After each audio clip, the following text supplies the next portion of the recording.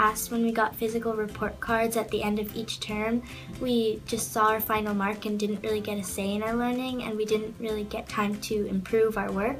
But now with e-portfolios, I can post my own opinions on my learning, and I get time to improve.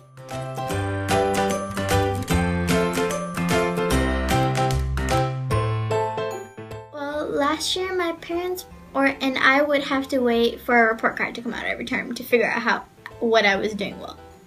Now I have everyday access to something like a report card, not exactly, but it's something like a report card, and my teachers can just go through and tell me that um, they can give me feedback.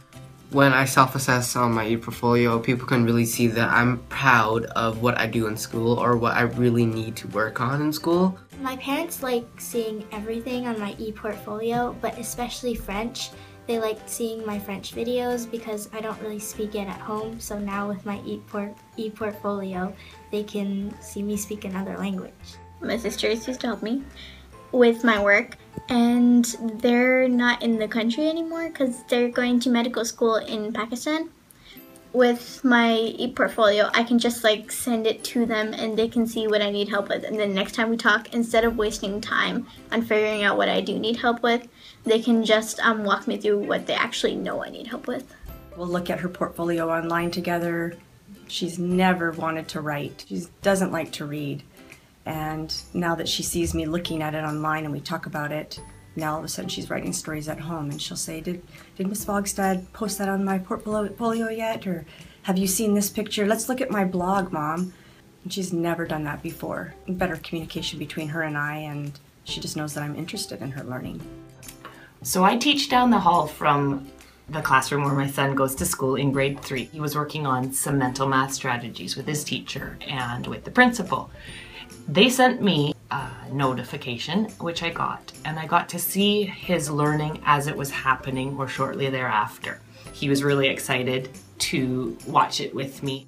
Well, I kind of felt proud, and I kind of felt a little nervous because it might be bad. It was showing uh, me doing the um, work and um, explaining how I did it. It was pretty good it helped him see more about himself than he would have ever seen before with traditional ways of assessing that learning. He could articulate more clearly for me what had been going on in the classroom and really got his perspective changed on how he saw himself. He doesn't really offer up a lot. He's like most kids. Nothing, I played, not much as one word answer. So this really offered me some insight into how he was learning, what he was thinking. I tell her the day was good and then I go outside and play with my friends because I just want to go outside. Having that evidence there that we then watched together really helped him change his perspective on how he sees himself. A regular report card, a math test would never ever do that.